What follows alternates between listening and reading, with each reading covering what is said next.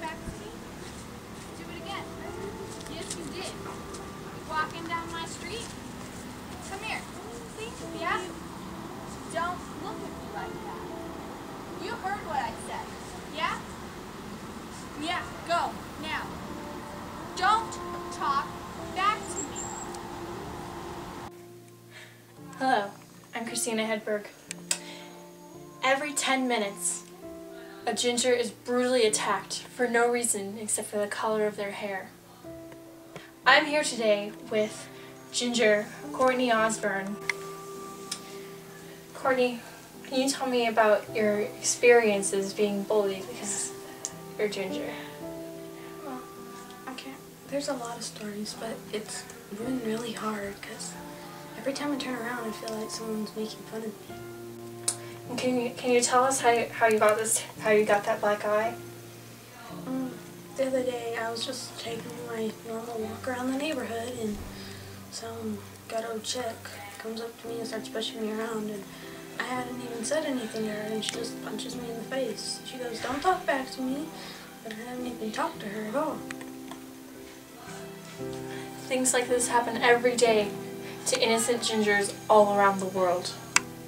If this message has touched you like it has touched me, then you'll want to give generously to the Save a Ginger Foundation.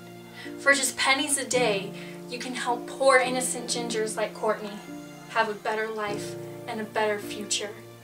So call the number on your screen right now and we'll send you a free t-shirt just for donating. And when you donate, we'll send you a picture of a ginger that you're helping.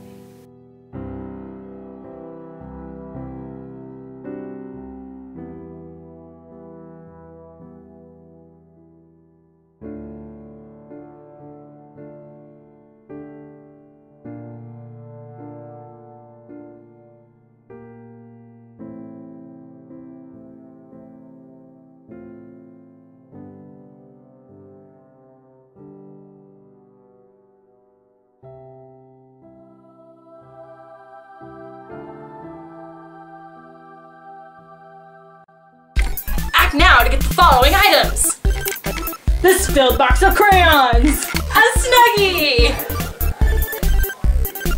A massaging neck pillow! A can of pressurized air! A 12 string guitar!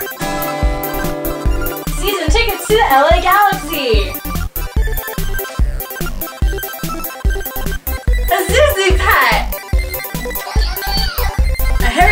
costume complete with wand, tie, and gown. Expelliarmus!